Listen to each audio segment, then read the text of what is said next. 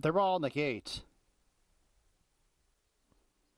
And they're off. Sluggish start for Rousing Jewel. Tam's Little Angel sends out for the lead. Princesa del Tigre towards her inside. 5 Cocktail Yellow Black Silks.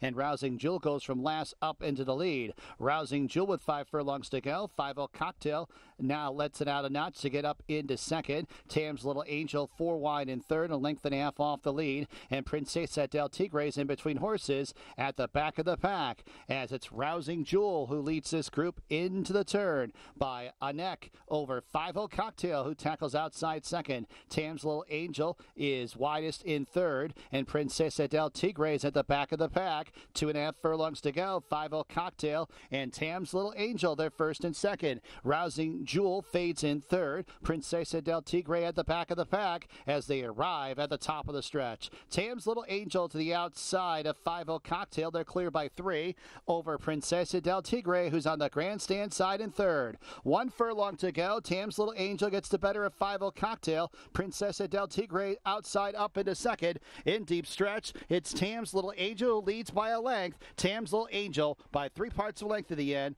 over Princesa del Tigre. Then it was 5 Cocktail.